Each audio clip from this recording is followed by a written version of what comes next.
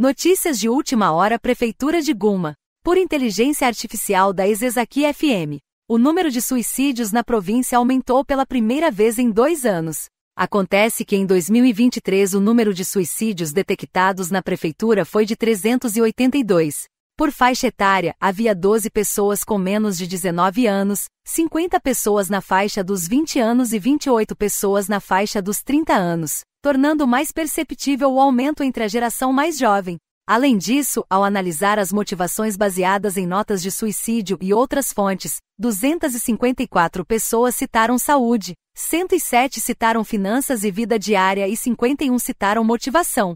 O suicídio entre pessoas na faixa dos 20 e 30 anos diminuiu significativamente no ano passado, mas foi apontado que esta tendência não poderia ser mantida em 2023.